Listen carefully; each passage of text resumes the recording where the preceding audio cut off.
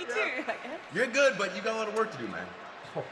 Games, games, games, and more cockamamie games.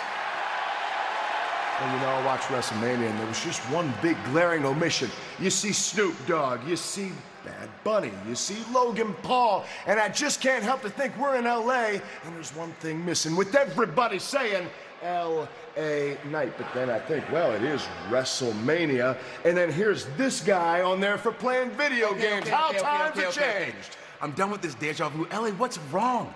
You're upset because daddy didn't pat you on the head and tell you you were special on his big day, huh?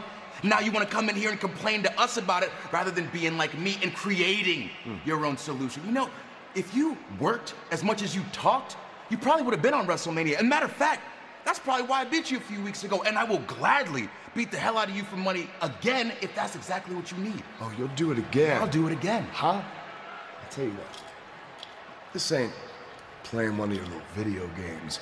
You can be playing LA Knights game. Yeah. All for